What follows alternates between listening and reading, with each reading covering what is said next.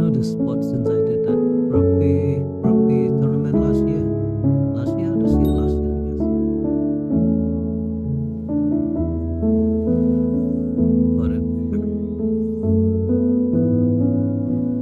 Thank you, Beto.